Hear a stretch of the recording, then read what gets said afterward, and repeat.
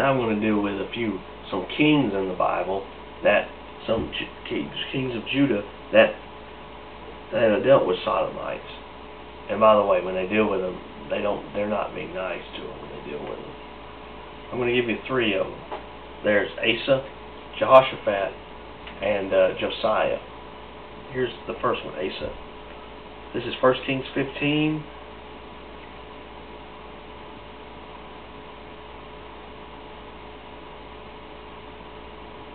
First Kings 15, uh, verse number 11 and 12.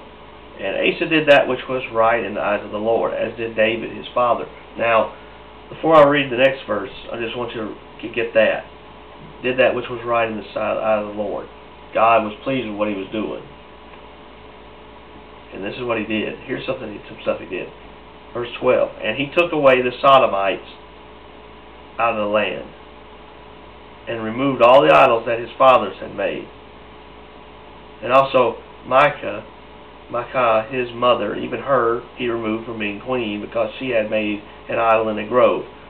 And Asa destroyed her idol and burned it in the brook Kidron. Whoa. But I want to emphasize the Sodomites. And I want to talk about how great the Sodomites were. And how there was nothing wrong with it. It was alright. God has no problem with it. And Jesus was gay too and all the rest. And all the other ridiculous reprobate type junk that they say. But yet right here, it says Asa took away the Sodomites out of the land, and it said before that that he did that which was right in the eyes of the Lord. So God had no problem with it. You don't see God destroying Asa for it. How dare you take away the Sodomites? There's nothing wrong with them. They're just born that way. Doesn't say that in the Bible. He took them out, and God had no problem with it. In fact, it'd be nice if it'd been really nice if if, if he'd killed them. Back then, uh, and even today, the Bible says that it, they're worthy of death now. So you know they were worthy of death then. Here's the next one. Jehoshaphat. This is uh, 1 Kings 22. 1 Kings 22, 46. And the remnant of the Sodomites, which remained in the days of his father Asa, he took out of the land. That wasn't nice. How well would you do that? Because the Sodomites were wicked. And he knew that. And he took and he got rid of them. You don't see God judging him for it. That's one thing God ain't going to judge you for. You stand up against a sodomite, God's not going to get mad at you and say, bad a Christian. That wasn't nice. Ain't nothing wrong with queers. They're just a bunch of cute little, they're just a bunch of cute little nice people that are born that way, and there's nothing wrong with them, and they just, to each his own. No, God says they're a bunch of perverts worthy of death. And God's going to put every one of them in lake of fire if they don't repent. That's what the Bible says. That's not what I said. Not what my preacher says. Not what somebody else I heard say. It's what the Bible says.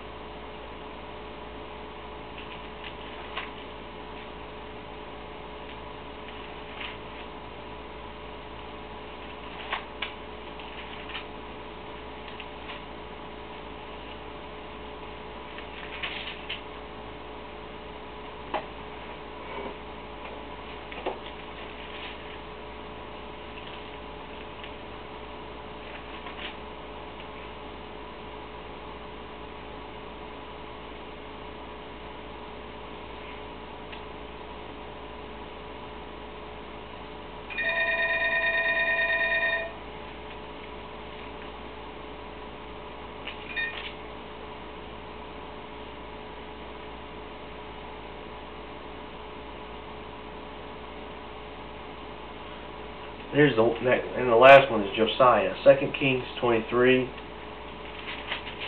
verse number seven.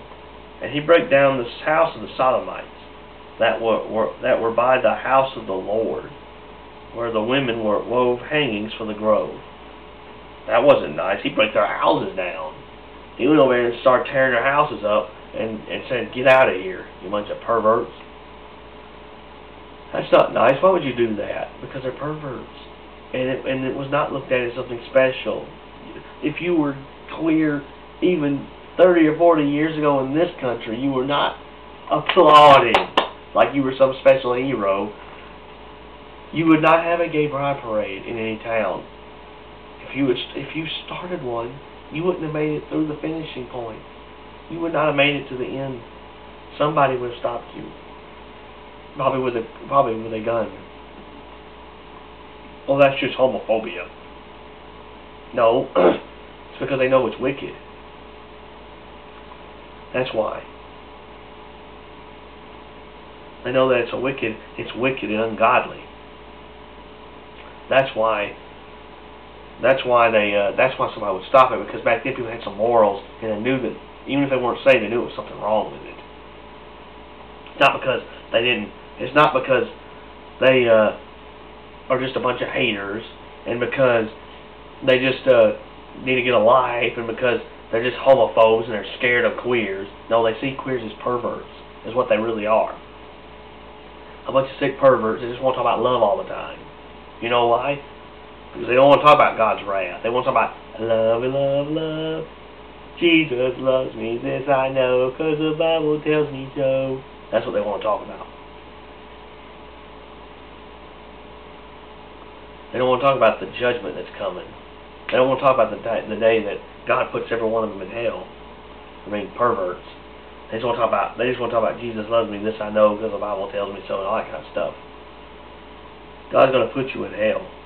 God's going to put every sinner in hell, and there's no saved sodomite. So, if you're a sodomite, you're going to hell. Plain and simple.